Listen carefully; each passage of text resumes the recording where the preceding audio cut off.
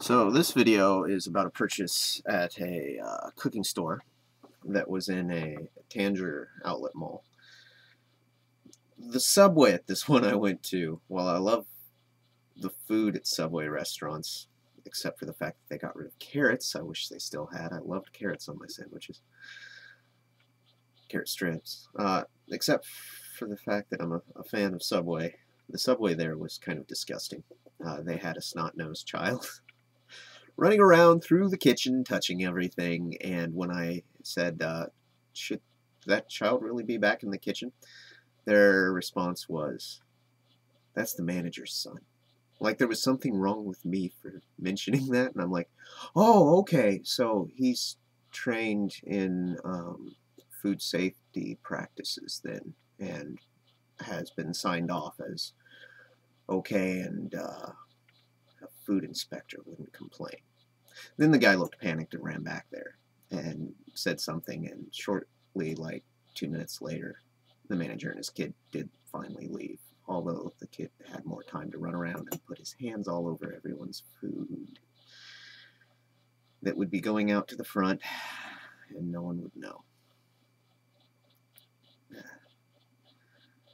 Yes, I understand. A child is important to someone, and such, but there are certain things like a place where you have to wear beard nets, gloves, and hats. Letting a child run around putting his hands all over everything unwashed? You're going to get people sick. Anyway, that aside, that, that was the only really disturbing moment about that trip. Otherwise, it was a very pleasant trip, and my sandwich was really good. Unfortunately, um, I don't know if the child had messed with any of the stuff that ended up on my Subway sandwich. I certainly hope not. I didn't end up ill, so probably not. Anyway, uh, at one of the cooking stores that normally has a lot of Asian seasonings and panko uh, breadcrumbs and things like that, which I was, I was hoping to restock on, they were down to one sauce that was wasabi ginger uh, in this teapot I got. It's cast iron. It's been coated. Um, they, they put a strange coating on it, which helps prevent rust. And then if you read the instruction manuals on these things, uh, a really good one, or research them, they say that rust makes the tea taste better. So there's a whole thing about what to do if they start to rust and how not to just get rid of the rust, which I thought was odd. I, I like tea, though. Uh, always been a big fan of tea, even as a child.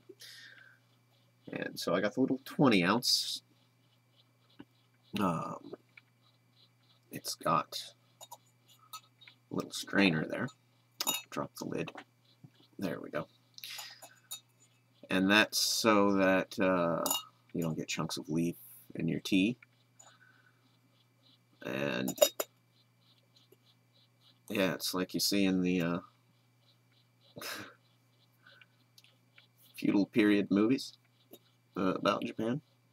I need to get a little stand for it with a tea, tea candle, tea light candle, whatever those are called, so that when I'm done cooking, if I want to keep it warm and haven't used up all the water, I can set that on top of that.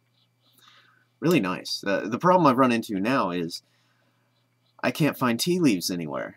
Everywhere's the bags or ground stuff. And I did not have this problem before I bought this teapot.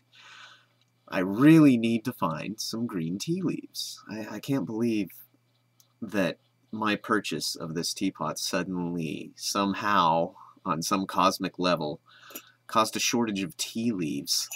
Anyway, it's it's a wonderful little teapot. Quite some weight to it. Um, you could knock out someone with this. This is crazy. It's like it's like holding a rock the same size. So it's it's good and sturdy.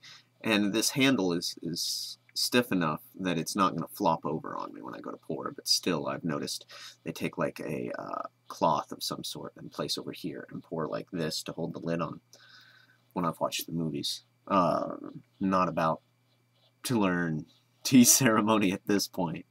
I just want to enjoy some tea. Perhaps sometime in the future I'll, when things are more relaxed, less hectic, I'll learn tea ceremony. Anyway, if anyone knows uh, how to get hold of some green tea leaves, at a decent price, please let me know. And leave plenty of comments. ideas, if you have questions about this or the care of it. Who knows, I may add something to the description or do a follow-up video. Thank you for viewing.